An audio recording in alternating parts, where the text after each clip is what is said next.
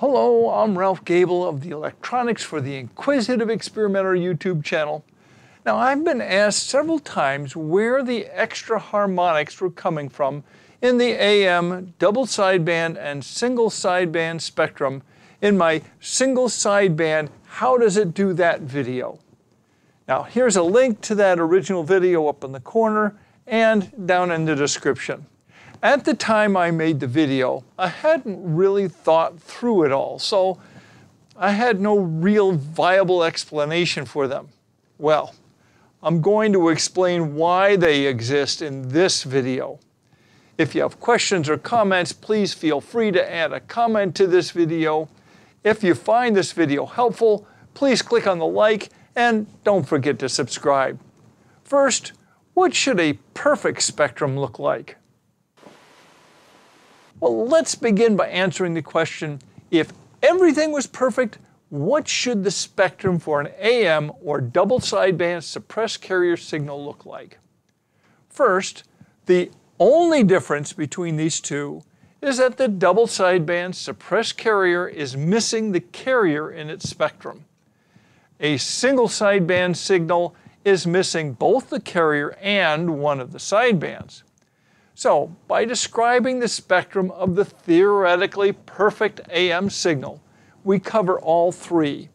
We just have to subtract a few things to cover the other two.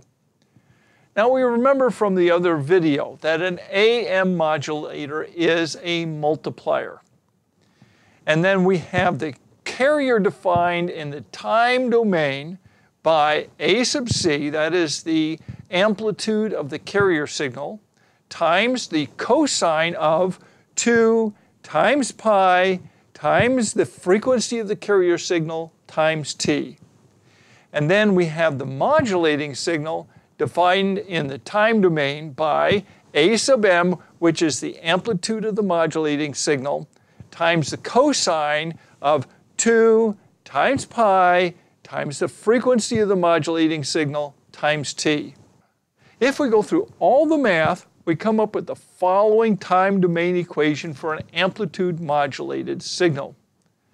We have the amplitude of the AM modulated signal at any time t is equal to the amplitude of the carrier signal times the cosine of 2 times pi times t times the frequency of the carrier signal plus the amplitude of the carrier signal times the amplitude of the modulating signal divided by 2 times this big quantity, we have the cosine of 2 times pi times t times the frequency of the carrier minus the frequency of the modulated signal plus the cosine of 2 times pi times t times the frequency of the carrier plus the frequency of the modulating signal.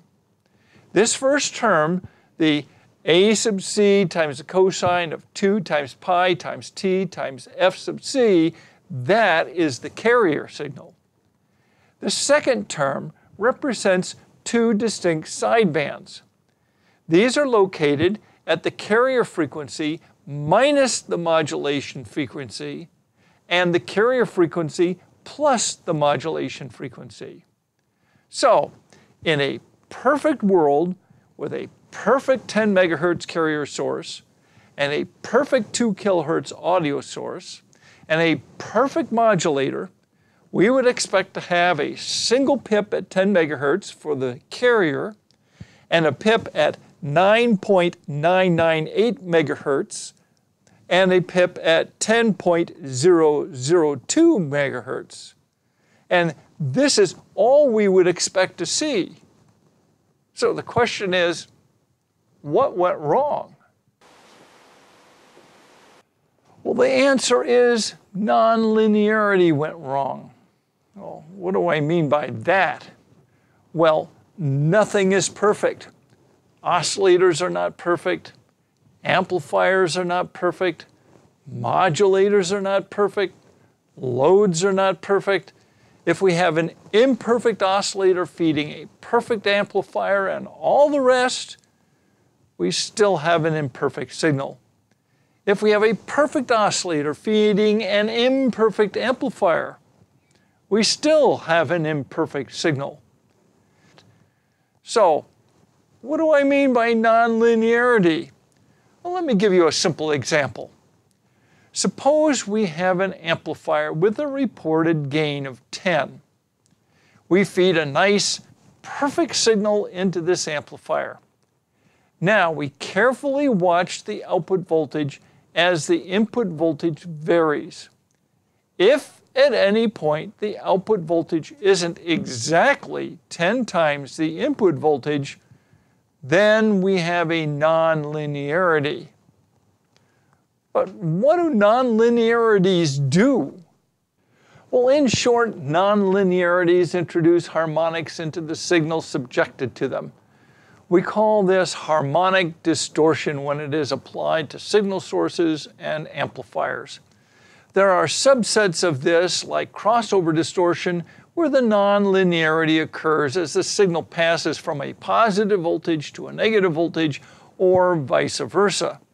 If the issue were harmonic distortion in the carrier signal itself, then we would expect to see harmonics at multiples of the carrier frequency depending on the cause or type of nonlinearity.